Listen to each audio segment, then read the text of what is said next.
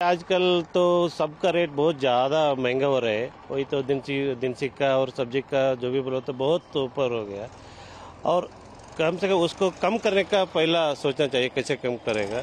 और वो हमारा जैसा मिडिल क्लास लोगों को बहुत अच्छा होगा। और इस बार तो बस फ्री तो सिर्फ़ लेडीज़ लोगों को रखा है। एटलीस्ट हम लोगों को आधा फिफ्टी परसेंट में कोशिश किया तो अच्छा लगता है। इस बार सिद्धरामैया जी और एक बार सीएम होकर बजट मंडन कर रहे हैं, लेकिन कर्नाटक के बहुत प्रॉब्लम्स है। जो पेट्रोल के दाम है गैस है, अभी जो सब्ज़ी, तरकारी रेशन से उनके प्राइजेस बहुत हाई हो गए हैं। अगर हम मार्केट में एक हज़ार रुपये लेकर गए तो भी एक थैला भरकर राशन नहीं आ रहा, लेकिन इस बजट में बहुत निरीक्षण कर रहे हैं कि ज़्यादा हम क्या भी मार्केट में गए तो सबके प्राइस थोड़ा कम हो जाए।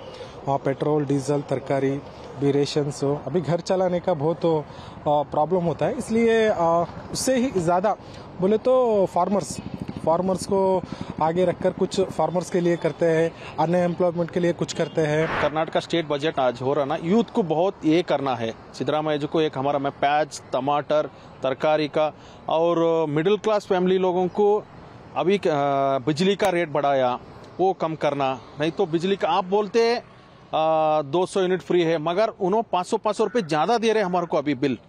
पहला तीन सौ, साढ़े तीन सौ रुपये आता था, अभी आठ सौ छः सौ, सात सौ रुपये आ रहा मतलब उसमें क्या भी नहीं है डिस्काउंटेड वो क्या तो वो परिहार ढूंढना वो और यूथ को काम दिलाना, बहुत प्राइवेट सेक्टर से काम निकाल रहे उसको आप परिहार ढूंढना गवर्नमेंट का, बहुत लोग, बहुत सेक्टर में बहुत समाज कल्याण P W D irrigation department बहुत जॉब है। वो उसको क्या तो करके भर्ती ले, लेना है।